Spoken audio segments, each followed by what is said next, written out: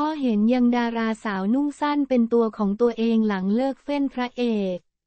หลังจากที่เป็นโสดบอกเลยว่าเธอเดินหน้าเซฟแบบรัวๆ จะเป็นใครไปไม่ได้นอกจากเบสคำสิงลูกสาวหัวแก้วหัวแหวนของนักมวยดัง สมรักคำสิงล่าสุด เบสได้ออกมาโพสต์ภาพของตัวเองใส่ชุดว่ายน้ำสีหวานมีผ้าคลุมซีทรูสีขาว หลังจากที่โพสต์นี้ถูกเผยแพร่ออกไปบอกเลยว่าคอมเมนต์เทียบ อาทิลูกสาวคนสวยสุดแซ่บ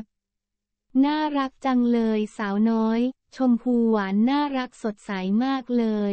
ว้าวชุดสีชมพูน่ารักสดใส